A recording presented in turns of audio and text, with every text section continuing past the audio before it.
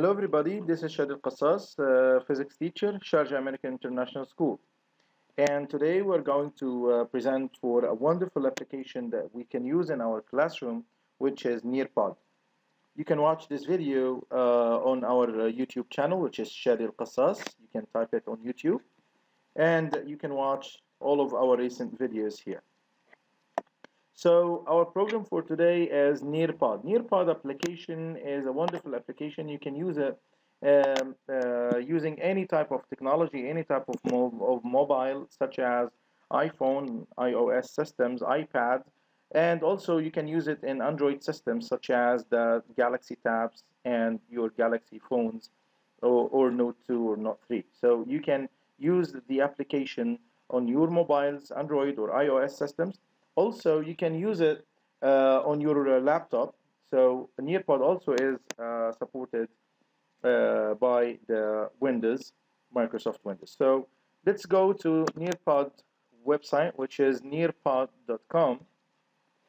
And this is the main interface. If you're a student, so you're going to join a session. If you're a teacher, so you need to log in and this is the main website here. You can log in using your Google account uh, or you can use the Nearpod account. So you need to have your own Nearpod uh, account. Here I have an account already with my email. Um, so let's type the password. And here we go. And as you can see this is the main interface of the website also, it's the same as the apps that you can download from the App Store or the Play Store. So this is the same interface. I'm using my laptop and you can use uh, your uh, iPad or Galaxy tabs uh, and you will find the same interface. Uh, the interface, as you can see, is classified into main uh, sessions here. It depends on what you like to do. So my library is here. This It includes the presentations and the presentations here you can upload them uh, you can create them uh, you can use any online links online videos you can upload voice files. Uh, it's very interactive. So these are the presentations that I have uploaded here. So this is an example of the presentations. Uh, if you wanted to make a live session so you just click here. And your students should be having their Uh, connected iPads or iOS uh, or Galaxy uh, tabs ready, uh, connected to the internet, you just give them uh, this pen, and then once they get this pen, you can share it using an email. So you can just add your students' emails here, or you can share it in the classroom. So you can just tell them the uh, the main pen and they can type it. And this is my presentation. I can control the presentation from my interface and they uh, the, the, presentation is shown in their uh, devices. So I can control my presentations my slides here like that and I can explain the main topics here. Also um, I can go to different um, uh, presentations such as here this one. I can make a quiz for them here the same session.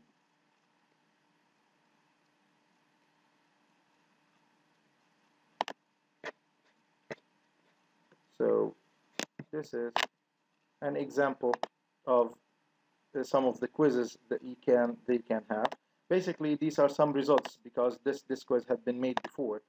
So uh, the, it shows you that some uh, results here. By going to the main home page here we can try something else which is the store.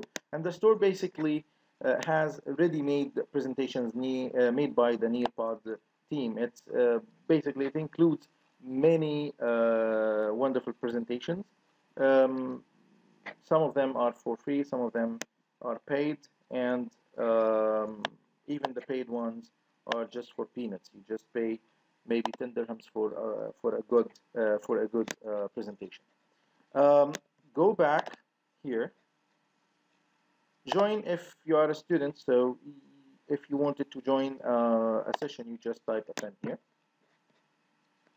uh, and after join you can create. You can create your own presentation as I mentioned before.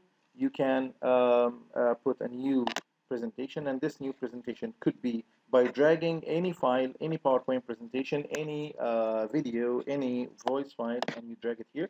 Or simply you can start from scratch by uh, doing the presentation yourself doing the slides yourself from here. You can drag you can browse your files.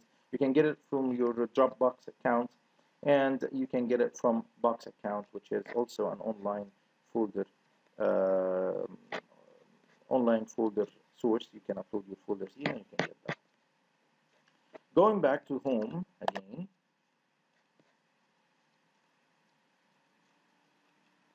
And finally the the last step here is for reports. And the reports basically shows you the reports of your students the interactions of your students. If you have made a certain quiz so you can show the results of your students by just clicking on the date and it shows you the, uh, the, the, answers, uh, students' participation here as a percentage, as a chart here. Also, it shows you the how many students they get uh, correct answers, wrong answers, no answers. It shows you some uh, uh, interesting results about your students. Also, it shows you uh, the detailed um, marks of the students with the student's name. This is the quiz that I have made for my students, so you can revise your questions, you can edit them. If you have had any open-ended questions, so open-ended questions uh, appear, uh, they appear here. If you have any drawing, also drawing problem, it appears here. Basically, this is one of the drawing problems that I had with my students, and also uh, it shows you how the students responded to this question. And this is the summary for the report. Another interesting feature here is that you can download the reports in many um, uh, many extensions such as PDF, uh, such as uh, um, uh, CVS, uh, CSV uh, files. Um, you can also share the video, share the results via email. You can just type the email of your HOD, if a colleague, if, if of a colleague, you can share the results with any of your colleagues or managers.